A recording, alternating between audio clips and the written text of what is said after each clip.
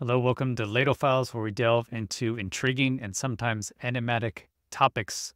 This is an interesting and very in depth article on anti gravity. The truth is, the military has been researching anti gravity for nearly 70 years. Sounds like science fiction, but the military began working to overcome and harness gravity in the 1950s.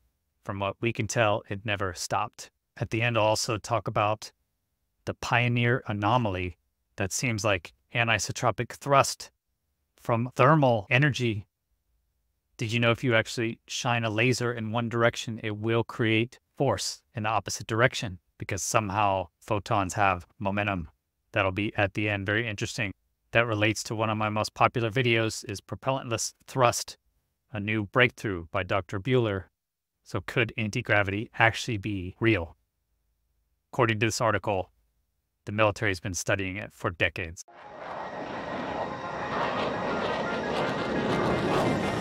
Chris Lehto. Welcome to Lehto Files. Anti gravity research speculation that it's been studied for nearly seven decades. The story begins in the 1950s, a time when the world was captivated by the space race and the dawn of the atomic age. Amidst this technological arms race, the U.S. military embarked on a quest to understand and possibly harness one of the most elusive forces in the universe when we still don't understand gravity.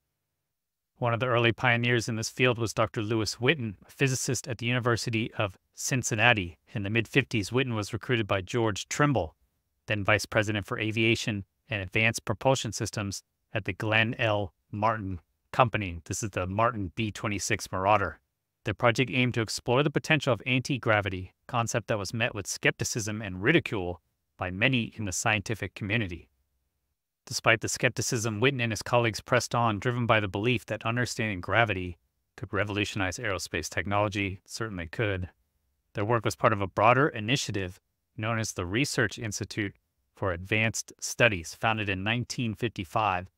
This institute sought to advance aerospace studies, with anti gravity being one of its most ambitious projects.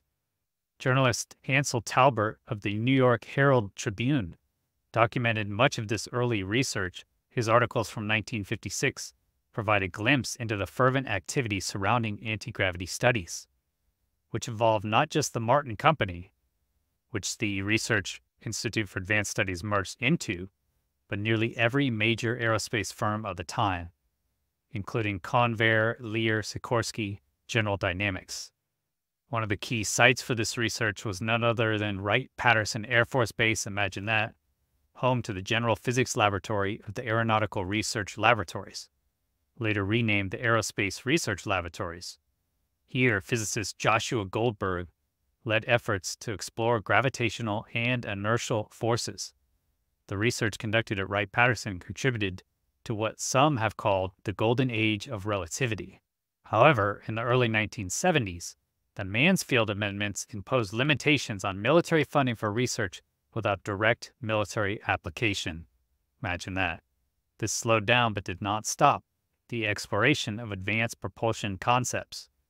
Notably, in 1972, an ad hoc group published the Advanced Propulsion Concepts Project Outgrowth report for the Air Force Rocket Propulsion Laboratory, which discussed anti gravity propulsion, among other advanced ideas. You can actually find this on the internet, Internet Archive. Look at that Advanced Propulsion Concepts Project Outgrowth, June 1972, Air Force Rocket Propulsion Laboratory, Edwards Air Force Base, California. Quite interesting. Electrical propulsion, look at that. I just released a recent video on the 170 foot barbell and how it uses electrical propulsion, electromagnetic propulsion. Here are the contributors on that. See if anyone you recognize. Interesting here, look, electrostatic thruster performance. This is basically the propellantless thrust, supposedly came from electrostatics. This is in the year 1970. During the calendar year 1970, an ad hoc group within the Air Force Rocket Propulsion Laboratory, AFRPL, conducted a study of advanced propulsion concepts in an attempt to predict the propulsion developments and breakthroughs that may occur in the next 30 to 40 years. Various government agencies, educational institutions, industries, and individuals were contacted and encouraged to submit inventions or suggestions in the area of propulsion and related science. Propulsion was broadly defined as any technique for transmitting a mass from one point to another in an aerospace environment. Contributors were encouraged to apply unrestricted thinking in approaching the problem of propulsion. The basic idea was to reestablish the type of free thinking and creativity that existed during the late 50s and early 60s, an inventiveness which to a large extent appears to have been lost during more recent times, unfortunate. I wanted to check the electromagnetic accelerators, but here it looks like you're just still accelerating mass. You're not using basically just an electric anisotropy like the propellantless thrust idea. Here's electrostatic thrusters. Electrostatic thrusters generate thrust by accelerating charged particles by means of an electric field. So you're still accelerating particles. It's not just an anisotropy of thrust. So here again, you're going to need a working fluid and you're still pushing something out the back, which is still quite interesting. This is from 1970, so it looks like they, they didn't have the idea of anis anisotropic, say that word five times, thrust through electrostatics, as Dr. Buhler said. Yeah, see, in an electrostatic engine, thrust is produced by the ejection of positive ion accelerated by electric fields. They had other ones. Alfvén wave propulsion uses magnetohydrodynamic waves to achieve thrust. And looks like they did actually look into it. Electrostatic effects, propulsion or lift is obtained through the use of electrostatic forces. Several concepts are explored. Electrostatic lift. This concept utilizes giant charged spheres arranged symmetrically in the ground just below surface level. These spheres are charged simultaneously at a prescribed rate. Centrally located relative to the underground spheres is a single sphere charged to its maximum, which is lifted into space as the buried spheres are charged. Basically, bury these spheres and you can lift something electrostatically. But again, propellantless thrust is all in the same object. Okay, and here's anti-gravity propulsion concept utilizing the control of gravitational forces of the Earth and other celestial bodies as a means of propulsion. That would give you infinite specific impulse, near speed of light velocities attainable, minimum damage to the environment, and economic exploitation of space. They considered two concepts. One utilizes a new physical concept of gravitational absorption, gravity screens, and the second is based on the concept of a unified field theory, using electromagnetic analogies to gravity control. The hardware which being described is theoretical since fabrication of anti-gravity devices has not been attempted, as far as this author has been able to determine. Okay, links are in the description if you want to check this out yourself. It's quite interesting, but here, this chapter is photon propulsion. Photon propulsion uses light pressure to provide thrust. Did you know you can shoot a laser and actually create thrust in the opposite direction? Light provides very high specific impulse, but concepts envisioned today have low thrust to weight ratios. The two following concepts are probably representative of photon systems as we now see them. Seems probable that new, unique concepts may arise in the future, making this category of propulsion concepts much more attractive. Okay, the first concept, antimatter, photon rocket. This concept utilizes the energy available from mass annihilation for propulsion. I guess this sounds like the Bob Lazar craft so they imagine a number of antimatter concepts are envisioned to take advantage of the products resulting from a reaction between matter and antimatter. Annihilation products may be used directly by acceleration with electric and magnetic forces. Annihilation products may be used indirectly to heat suitable working fluid for thermal expansion through a nozzle, so shoot it out the back. And this was mentioned in Avi Loeb's Copernicus initiative with Garry Nolan. They would actually use solar energy for propulsion. What do you do that with? A solar sail. So actually the sun is pushing, and this would be from photon. This is from photon pressure. And they say here the solar sail seems to be the only scheme surviving where utilization of solar energy for propulsion is proposed. At any rate, it seems to be the only one of some current interest that is documented to any degree. Basic idea is for a vehicle in space to deploy a sail so as to intercept solar radiation. Radiation pressure on the sail will result in a thrust on the vehicle. This is light actually has momentum, which is just amazing to me how that could be possible. Okay, fast forward to the present. What do you think's happened in 54 years since then? You think they've made any advances? The interest in anti-gravity research is far from over. NASA, for instance, has funded various studies under its Breakthrough Propulsion Physics Program investigating whether gravitational or inertial forces can be modified using electromagnetism. Recently, and I've covered it on the channel, a series of patents filed by Salvatore Cesar Pais for the U.S. Navy have reignited public interest in the field. These patents describe technologies that seem to defy our current understanding of physics, suggesting the possibility of hybrid aerospace underwater craft and high energy electromagnetic field generators, basically creating gravity waves, super high frequency. These concepts echo earlier theories and experiments, but with modern advancements in material science and quantum physics, they may not be as far fetched as we once thought. Reports like the 2006 Advanced Technology and Breakthrough Physics for 2025 and 2050 military aerospace vehicles envision a future where propellantless field propulsion could become a reality. I cover the new patents and supposed breakthrough by Dr. Buhler and his team in this video propellantless UAP thrust found where using asymmetric electrical fields essentially you get electrostatics so you can actually get an asymmetric electric field pushing the object that way so creating a thrust but not actually expelling any sort of propellant. Could this actually make sense? Well, kind of an interesting parallel that I found is called the Pioneer anomaly. If you haven't heard of this, it's quite interesting. The Pioneer anomaly or Pioneer effect is the observed deviation from the predicted acceleration, so what they thought would be the accelerations of the Pioneer 10 and Pioneer 11 spacecraft. So the ones we launched way back in the 70s that are so far away, right? After they passed about 20 astronomical units, so very far from us, on their trajectories out of the solar system. The apparent anomaly was a matter of much interest for many years because it did not match our math, right? There was some other number in there, acceleration. According to Chris Brown, he said he's going to release a video. I did an interview with him. This is actually due to gravitational redshift. But let's look at what the actual scientists came up with, right? They said it was after many years of debate, scientists found that subsequently explained by anisotropic, so asymmetric, radiation pressure caused by the spacecraft's heat loss. Radiation pressure, imagine that.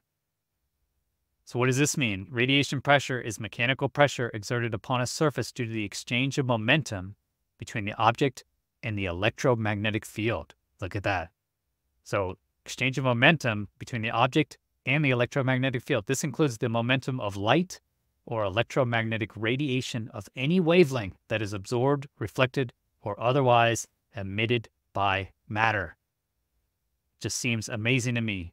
So both Pioneer spacecraft are escaping the solar system but are slowing under the influence of the sun's gravity. Upon very close examination of navigational data, the spacecraft were found to be slowing slightly more than expected, so there was more acceleration towards the solar system. The effect is an extremely small acceleration towards the sun. Again, Chris Brown argues, and he's going to make a video, saying that this could be explained by gravitational blue shift, the opposite of redshift, which is equivalent to a reduction of the outbound velocity by one kilometer per hour over a period of 10 years. So it's, it's extremely small. The two spacecraft were launched in 72 and 73. The anomalous acceleration was first noticed as early as 1980, but not seriously investigated till 1994. The last communication with either spacecraft was in 2003, but analysis of recorded data continues. Various explanations, both of spacecraft behavior and of gravity itself, gravitation itself, were proposed to explain the anomaly over the period of 98 to 2012. One particular explanation became accepted, so they accepted it. Is it correct? Well, it's accepted. The spacecraft, which are surrounded by an ultra high vacuum and are each powered by a radioisotope thermoelectric generator, can shed heat only via thermal radiation. If, due to the design of the spacecraft, more heat is emitted in a particular direction by what is known as radiative anisotropy, then the spacecraft would accelerate slightly in the direction opposite of the excess emitted radiation due to the recoil of thermal photons. This seems amazing to me, right? It's, it's so it's basically hotter on one side of the spacecraft. And so what they're saying is because it's hotter, you're actually pushing. The excess heat on one side is pushing the aircraft in the opposite direction based on a recoil of thermal photons. And this is accepted uh, apparently by the scientific community. So, the question is could you actually have an electric radiation emitted. So electrostatic field. That's what Buhler has actually proposed. Many people said it's not possible. I get many comments saying this is BS. They're going to find it's not correct. But if you look right here, science right now is explaining excessive heat on one side because photons, elementary particle, can actually impart momentum, even though photons are massless particles. How does that work? It's a massless particle, but somehow imparts momentum. I still think we just have really big misunderstandings in our physics. So by 2012, several papers by different groups, all reanalyzing the thermal radiation pressure forces inherent in the spacecraft, showed that a careful accounting of this explains the entire anomaly. Thus, the case is mundane and does not point to any new phenomenon or need to update the laws of physics. Is that propellantless thrust? I mean, it's it's heat, and they say that that is a propellant, but photons are massless. I don't know how this makes sense to them, but apparently it does. The most detailed analysis to date by some of the original investigators explicitly looks at two methods of estimating thermal forces, concluding that there is no statistically significant difference between the two estimates, and that once the thermal recoil force is properly accounted for, no anomalous acceleration remains. So, quite interesting. So, where does this leave us? Pursuit of anti gravity technology has been a long journey filled with both scientific breakthroughs and dead ends. It seems like there's kind of a duality existing here. You can't have propellantless thrust, according to the scientific community, and yet the Pioneer anomaly emits heat. How are photons massless and yet can still push a sail? How do they actually impart momentum? Is shooting a laser one direction, is that actually emitting propellant?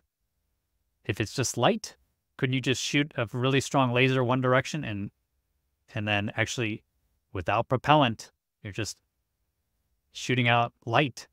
Couldn't that push a spacecraft? So while we haven't yet seen revolutionary propulsion systems that science fiction often portrays, continuous research and development suggests that we may be on the brink of significant discoveries. I imagine AI and AGI will certainly help.